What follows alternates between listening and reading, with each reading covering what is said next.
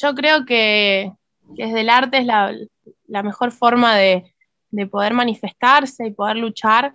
En este caso yo integro el grupo Farafa, donde las canciones que tenemos, si bien soy la única mujer en el grupo, las canciones que hacemos son sobre la lucha colectiva y tienen mucho que ver, digamos, con la lucha de la mujer. Mis compañeros de, de banda, de grupo, como que me acompañan en esa lucha. También, bueno, dentro de la lucha está, digamos, todo aquello que nos molesta o nos incomoda. Y bueno, lo hacemos desde ese lado. También integro el grupo Maná Teatro, que es un, grupo de teatro feminista que está en la localidad de San Francisco. Somos a la vez integrantes del movimiento feminista de, digamos, de esta zona.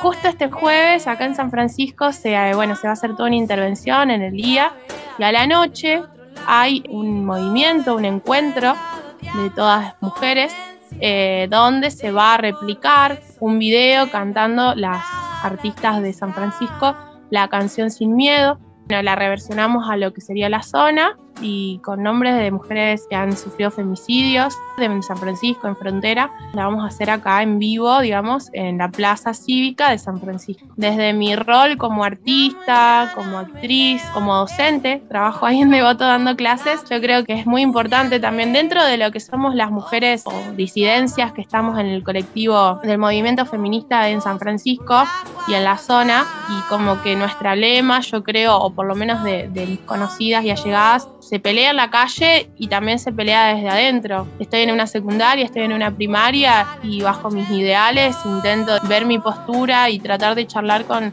con los chicos y las chicas sobre la ESI, sobre todos aquellos temas que son debatibles en, la escuela y que por ahí se pasan por alto o porque ya es costumbre lo dejamos pasar, cosas así que pasan en todos los colegios que pasan en todas las instituciones y bueno, yo creo que también desde adentro se, lucha. Con Farafa hace casi cuatro años que estamos tocando, si bien fuimos mutando, fuimos agregando integrantes, fuimos cambiando nombres, hoy eh, lanzamos nuestro primer EP.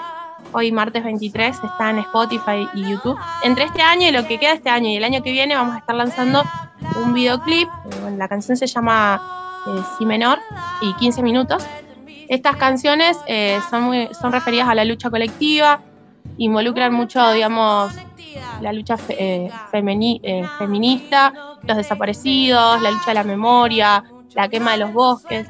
Y bueno, es recibimos un subsidio del INAMO y a partir de ello vamos a incrementar por ahí y movernos dentro de las escuelas con nuestro grupo. Soy una mujer con tres varones y como que eso, se respeta y se trabaja de forma comunitaria y somos solidarios entre nosotros, que eso está bueno.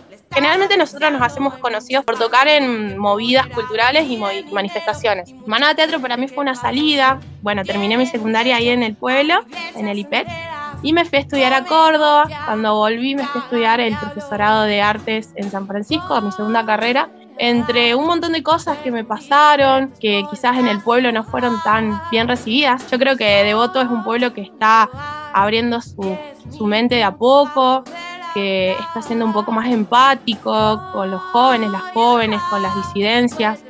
Eh, pero bueno, hace 10 años era un poco más distinto. Y bueno, en ese momento mi salida por ahí fue el arte, por eso estudié el profesorado y me empecé a relacionar con otra gente del ámbito cultural, entre ellas, digamos, el teatro. A las chicas las conozco, bueno, son todas chicas, porque me invitaron como docente de arte y artista a, una manifestación y de ahí nos empezamos a juntar y crecieron un montón de, de proyectos, entre ellos eh, Cuerpos en Manada, que era una performance que hacíamos con las chicas que expresaba cómo nos sentimos, cómo vemos, cómo expresamos nuestro cuerpo como mujeres, como manada, de otras formas. Si bien la sociedad al cuerpo de la mujer lo estigmatiza, lo ve como un objeto sexual, nosotras lo analizábamos desde el sentimiento, desde el cómo nos sentimos. Actualmente Manada se movió un poco con lo que es en la pandemia, como a todos nos, nos interpeló en los audiovisuales e hicimos un cortometraje que lo pueden ver en, en YouTube, que lo presentamos en un par de concursos, así que siempre la movida.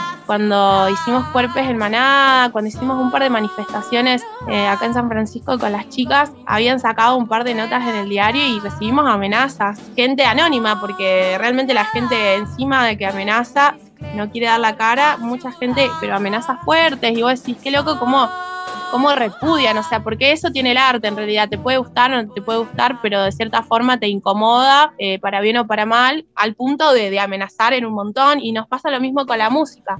Nuestras letras, nuestras canciones con Farafa, no son canciones que o te gustan mucho, porque realmente entendés la lucha, porque decís, la escucho y digo, mira, sí, realmente es así, y hay gente que, que no, ¿qué dice? No se incomoda, no se enoja, no miran para otro lado, o hacen cara fea, y bueno, eh, nos ha pasado, nosotros tocamos en muchos lugares, desde una plaza, desde ayer a la noche fuimos a tocar a un barrio eh, popular y con el, la quema del momo y el cumpleaños de una murga, y bueno, son ámbitos en donde nos sentimos súper cómodos, donde la gente entiende la lucha, donde la vive todos los días, y después nos encontramos tocando, qué sé yo, en, lugares por ahí culturales también, pero que se mueven de otra forma o que ven nuestra vida cotidiana, nuestra sociedad de otra forma. Y bueno, que nuestras letras, lo que decimos les molesta y bueno, no somos tan bien recibidos, pero no importa. Eso es lo importante, que, que nos escuche, sobre todo ese tipo de gente, la que no nos entiende, que nos puede escuchar y que podamos charlar y que podamos empatizar. Eh, yo creo que va por ahí. Como artista en la lucha te puedo decir que estas respuestas negativas realmente dan dan a entender la falta de esto, la falta de empatía, la, la falta de sororidad, de, compañerismo, de, ser humanitarios. Cuando recibimos estas respuestas negativas, que son críticas, no constructivas, son críticas, nos hacen tener más ganas de salir. Es como, bueno, si vos realmente pensás eso y crees que lo que nosotros decimos no tiene relevancia es porque las cosas realmente están mal y porque más tenemos que salir. Y bueno, yo creo que nos incentivan las, las, críticas negativas.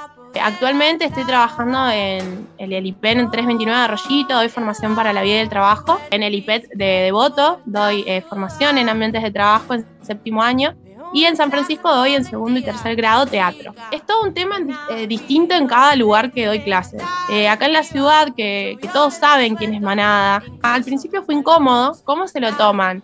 El miedo de decir, bueno, voy a perder mi trabajo por pensar y actuar ante mis convicciones y mis ideales. Y bueno, y nada, te das cuenta de que, de que no, de que no, que yo estudié muchos años, de que merezco el trabajo que tengo, de que soy buena docente y de que mis ideales y lo que hago para combatirlos no interfiere. Eh, en, todo trabajo hay gente a la que no le gusta, la tienen que bancar. Y en las secundarias, que trabajo con chicos más grandes, trato de meter todo lo que yo creo, lo que yo pienso. No, digamos, imponerlo, que eso está mal, porque todos pensamos distinto, pero sí por ahí compartirlo y debatir y ver qué piensan. Y con mis colegas docentes trato de, ser lo más profesional posible, que no se mezclen las cosas. O sea, somos todos humanos. No importa si soy mujer, si soy hombre, si soy trans, si soy travesti, si soy disidente. Somos todos seres humanos que compartimos la tierra, que nacimos, que nos criamos, que amamos. Y bueno, yo creo que eso es lo que se, por lo que se lucha, digamos. No te digo por la igualdad, porque no todos somos iguales, pero sí por la equidad, por porque nuestros derechos se respeten, porque tengamos las mismas opciones. Yo creo que lo que yo predico es esto de nunca terminamos de aprender y nunca terminamos de entender. Si bien yo te estoy contando sobre lo que yo creo, sobre lo que pienso, sobre los movimientos que integro, tampoco sé si lo que yo pienso realmente está bien y no tengo la verdad, porque la verdad no es absoluta, nadie tiene la verdad, nadie es dueño de la verdad. Y, y, yo creo que es esto, de decir, bueno, mi paso por la vida es tratar de entenderla, disfrutarla y acompañar al resto. Y bueno, lo que sé, transmitirlo y lo que no sé, aprenderlo, va por ese lado, digamos.